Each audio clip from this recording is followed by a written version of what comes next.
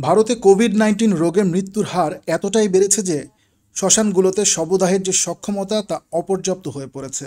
নতুন দিল্লিতে এই সংকট সবচেয়ে প্রকট হয়ে দেখা দিয়েছে। সেখানে সারি সারি মৃতদেহের দাহ করা হচ্ছে সাময়িক ব্যবস্থাপনায়। মৃত্যুর হার এতটাই বেড়েছে যে মৃতদেহ বয়ে আনতে এখন শ্মশানের সামনে অ্যাম্বুলেন্সের লাইন লেগে যাচ্ছে। আগে এখানে সপ্তাহের জন্য খুব বেশি সংখ্যক মৃতদেহ নিয়ে আসা হতো না। এখন দুই ঘণ্টা অপেক্ষা করতে হয়। আমরা এখানে বসে আছি তিন ঘণ্টার বেশি সময় ধরে। উপায় না পেয়ে নতুন দিল্লির অনেকেই মৃত স্বজনদের শবদাহের জন্য কিংবা গণকবরের জন্য সাময়িক ব্যবস্থাপনা নিতে বাধ্য হচ্ছেন। এই গভীর সংকটের মধ্যে মঙ্গলবার মার্কিন প্রেসিডেন্ট জো বাইডেন ভারতের পাশে দাঁড়ানোর কথা বলেন। আমার মনে হয় আমরা সংকটাপন্ন দেশগুলোতে ভ্যাকসিন দিয়ে সহায়তা করার মতো অবস্থানে পৌঁছাতে পারব। আমাদের অভিজ্ঞতাও তাদের কাজে আসবে। এটাই আশা এবং প্রত্যাশা।